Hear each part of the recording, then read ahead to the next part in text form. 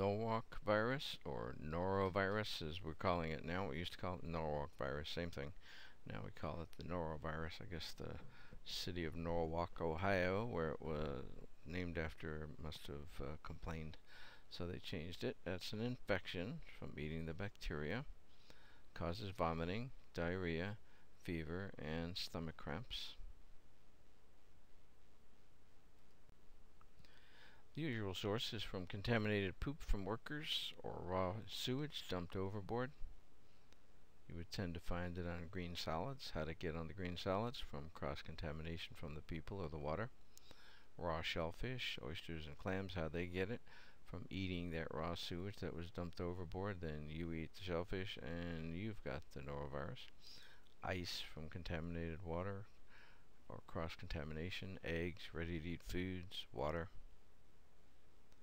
Prevention of norovirus through employee hygiene, hand washing, proper cooking, use of potable water, not eating raw shellfish, and uh, bleach solution, 1000 parts per million. That's the only thing that will um, kill it. The standard uh, pesticides that we use will not kill the norovirus, so only bleach, 1000 parts per million will do that. This one's a biggie, so I'm going to spend a little more time uh, on this one. It uh, seems to be growing in prominence in the U.S. and especially abroad. A healthy 15-year-old boy played around a golf, went home. By morning he was dead. Health officials traced a gastrointestinal illness to coolers containing drinking water for the golfers. That something was the norovirus. Officials believe a sick employee who had not washed his hands contaminated the ice in the coolers. So for you soccer moms and dads, how often do you think they clean that uh, igloo cooler uh, after the kids use it all day? Probably never. So that would be something for you to institute. So every day when you're done, clean and sanitize the um, the uh, container. If these guys had done that, then that kid wouldn't be dead. So my wife uh, Judy and I took a cruise November 2006, 16 days from Rome to Florida. Second day out, we are not able to serve ourselves anymore. They took the tongues away, so we all figured we were eating too much. But they started announcing over the PA that um, there was a, a, a stomach flu going around. And ultimately it turned out to be, I googled it because I had a sense of what it might be. So I googled it, and it was all over the uh, newspapers and the uh, the press, um, and it was brought on probably by 10 people who uh, were touring Europe, where it was prominent at that time, and uh, they brought it on board. So it wasn't Carnival's fault, but it was Carnival's job to try to uh, minimize the spread of that, and that's why they took the tongues away from us. Uh, there were 556 passengers got sick. Some of them got sick a couple of times, plus 154 crew. And Judy and I were on there, so we didn't get sick. Um, well, I don't know why, because, but we didn't use the, um, uh, we didn't touch the handrails. We, if the captain's not shaking your hand, I'm not either. Um, didn't go to the public restrooms, so did our best uh, to avoid it. To me, it was great I teach this stuff, so it was cool to watch it all go down. But uh, some people didn't have such a good cruise for sure. A terrible virus known to spread through cruise ships strikes a Cincinnati public school. Yeah, the health department says the norovirus has hit Mount Airy School. Nine News reporter Janelle Walton is here now with how the school is trying to protect its students. Janelle? Brendan, the district says it's following recommendations from the health department. They've had cleaning crews inside the building to clean and disinfect all of the surface areas. Students at Mount Airy School on Colerain Avenue are getting a lesson in good hygiene. They're being told to wash their hands frequently as the school tries to rid surfaces of the norovirus, also referred to as Norwalk virus, stomach flu, and food poisoning. So that's what we've been working on is very being very, very diligent with training the kids, reinforcing hand washing, hand washing, hand washing. Dr. Crumpton says symptoms can last anywhere from 24 to 48 hours on average. The Cincinnati Health Department says 200 of the 600 students have missed school over the past several months, with the peak in absences over the past two weeks. We have been working with the parents and really with the uh, custodial staff there to disinfect and encourage parents, if their kids are sick, to keep them home until they're recovered so as not to spread the virus. Experts say the noroviruses spread from person to person through contaminated food or water and by touching contaminated surfaces. The district says custodians will continue to disinfect areas that may be contaminated.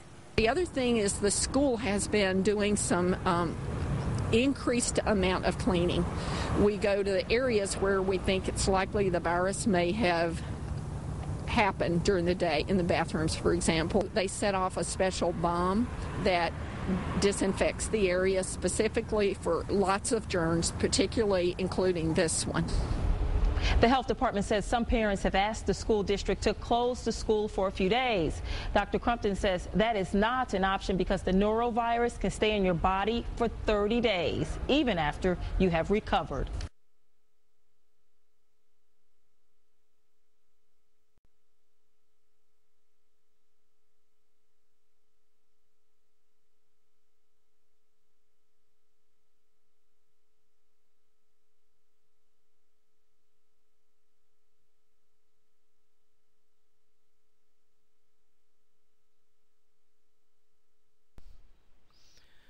Example of parasite is Trichinella spiralis, which causes trichinosis, which um, causes vomiting and general muscle ache.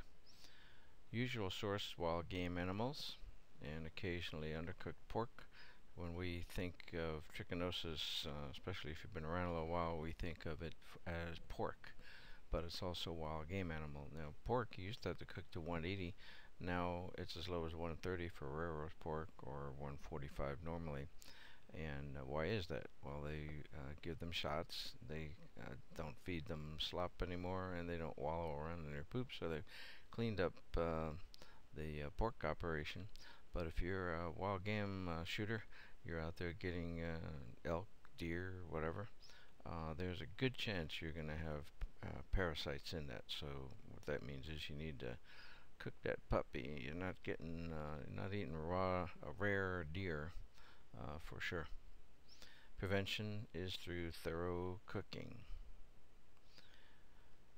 Anisakiasis is another one, parasite in worms, uh, little white worms, which are killed by holding food at minus 4 degrees for 7 days. So if there was some reason you thought that uh, you might have uh, parasites or worms in the fish, uh, then you could kill them by um, freezing to minus 4 degrees for 7 days, you're still going to eat the parasites, but at least they'll be dead. Chemical hazards include cleaning solutions, food additives like uh, color, coloring and, and uh, MSG, things like that, pesticides, naturally occurring like mushrooms, pick the wrong kind of mushroom, you can die, Anisakis worms that we just talked about, ciguatoxin, which is in fish, mycotoxin, which is in uh, breads, agricultural residues like additives, colorants, flavors, source water.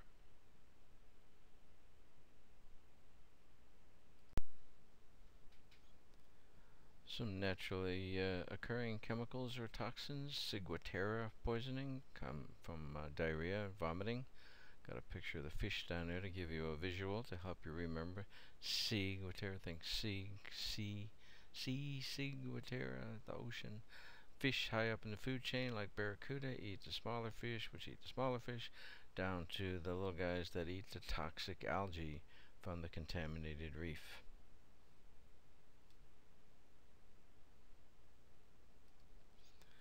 Prevention of ciguatoxin is to buy fish from a reputable unknown source.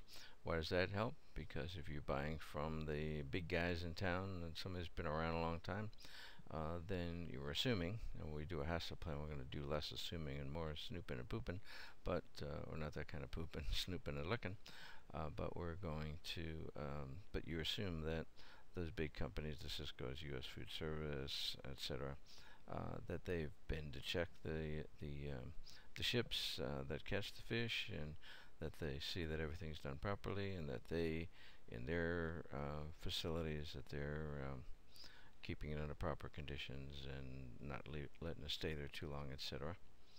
The toxin is heat stable, so toxin is a toxin meaning like poop.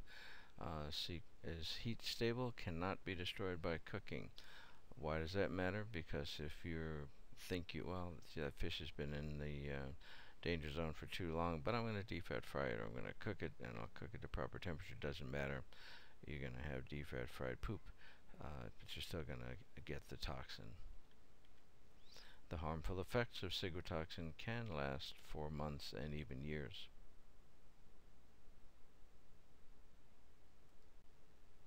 Scombrotoxin or histamine poisoning, seafood that's been temperature abused, caused by fish actually decomposing from poor time and temperature control during processing and storage. You know, if you have, uh, let's say, a banquet and you only have one entree, uh, and that entree is fish, you would always have to have an alternate because a lot of people are allergic to fish, and what they're allergic to is the scombrotoxin or the histamine in the um, seafood. Now, some people could eat seafood and they don't have a problem, and then all of a sudden they eat your seafood and they do have a problem. Why might that be? Because maybe they're somewhat allergic to histamine poisoning, but normally, if you handle the fish properly, then it's not a problem. If you uh, allow the fish to decompose, don't handle it properly, and they get too much histamine, then they might get sick, whereas maybe previously they never got sick. So if you're sitting there eating seafood and your teeth are tingling and you got dizziness, nausea, you feel like vomiting, you might have scombrotoxin or histamine poisoning. Often comes from tuna, amberjack, bluefish, mahi-mahi, or mackerel. And the best prevention, again, is to buy from approved sources which have handled the uh, seafood properly and, and didn't cause it to decompose. Because of a lack of supervised control, products that are homemade or fish you caught may never be used or sold in or by a food service establishment. You just don't know how the product was handled. It might have been fine, uh, but you don't know that and you can't be uh, become liable for that. Everything must come from an approved source. So you catch some fish and you bring it back for the weekend. What can you do with them? Eat them at home, give them away, but you can not use them in your establishment. So how do you monitor your food temperatures? Your single most important tool is simply the thermometer. Thermometers with glass stems must not be used when taking food storage temperatures. Why? Because they might break and then you've got both the physical contamination as well as the chemical contamination from the mercury. I have to say, in my 18 years as a hospital food service director, I don't ever remember seeing my chef calibrate their thermometer. Somehow or other that missed my uh, radar screen or something. Uh, how often should you do that? You should do it daily, or thermometer is dropped. How you do it, you fill a glass with half water, half ice. Submerge the thermometer or thermocouple probe into the water up to the dimple Wait until the temperature is stabilized. It should read 32. Adjust the dial by turning the nut on the back of the thermometer until it reads 32. And it must be accurate to plus or minus 2 degrees Fahrenheit. You um, pretty much can can calibrate a lot of the, the thermometers when they went digital you couldn't but now they're making them where you can calibrate them otherwise you had to throw them out